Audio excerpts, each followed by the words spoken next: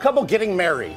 Okay, there's a sound check going on next door. It seems like the wedding's destroyed until it became the surprise of a lifetime because it was the Beach Boys sound checking who gave them a gift they'll never forget. ABC's Lindsay Davis has this one.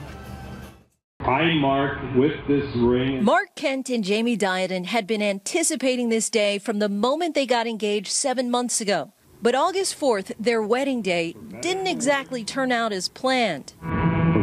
The boat went by and the minister kind of worked it into his sermon and said, you know, like interruptions are going to happen in your marriage. And so it was just a funny touch. All risks that come along with an outdoor wedding in downtown Cleveland.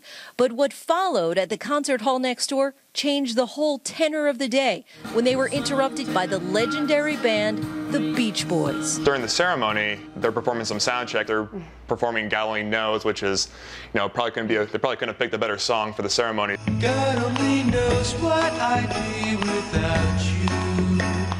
If anyone could upstage a bride at her own wedding, the Beach Boys had unwittingly done just that. It couldn't so have been cool. more perfect.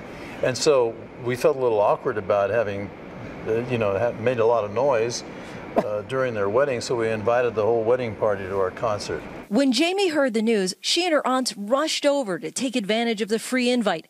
And before they knew it, they were up on stage with a band Jaime's loved from childhood. We didn't think about it, we just did it because yeah. this is what you do. You just do stuff yeah. in the moment. Create and, some good vibrations. Oh. Have some fun, fun, fun. I was up dancing, so I was like, oh, a tambourine. So I grabbed one and I was just shaking it. Fun, fun, fun, the fun was unfortunately missed by her new husband, Mark, who was back at the wedding partying with his groomsmen though they both say there is now no question about what their special song will be. I think this is a good excuse uh, to make the Beach Boys Only Knows uh, our official song of our relationship. For Good Morning America, Lindsay Davis, ABC News, New York. I feel like well, we need to wait, follow so up. because, so okay, so then and he was. You know what I love from Bruce? We just do stuff. We yeah. just good do vibration. stuff. Good we were creating good vibrations.